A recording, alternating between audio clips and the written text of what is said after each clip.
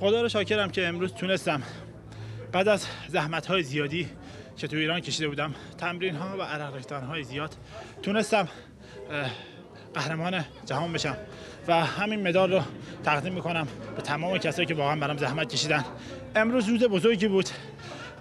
این مدال رو تقدیم می‌کنم به مردم کشورم ایران و مردمی که حامی ایران بودن.